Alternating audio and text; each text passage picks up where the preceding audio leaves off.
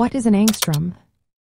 Have you ever wondered how scientists measure things that are incredibly tiny?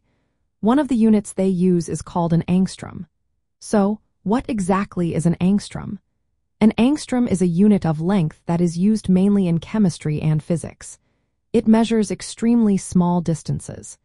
To give you an idea, one angstrom is equal to 1 ten billionth of a meter or 0.1 nanometers. This unit is named after a Swedish physicist named Anders Jonas Ångström, who lived from 1814 to 1874. The symbol for angstrom is a unique letter, A-ring, from the Scandinavian alphabet. In the world of chemistry, the angstrom is particularly handy for expressing the sizes of atoms and molecules.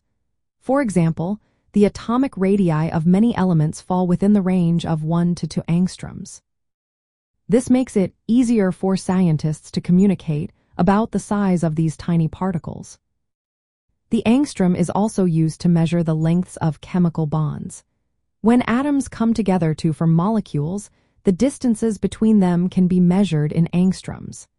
Additionally, this unit helps describe the arrangement of atoms in crystals, which is crucial for understanding material properties.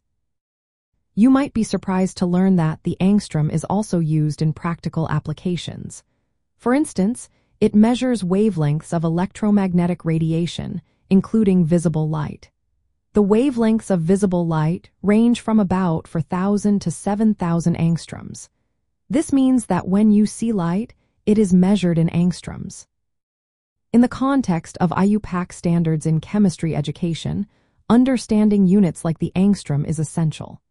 It helps students accurately describe and measure chemical phenomena.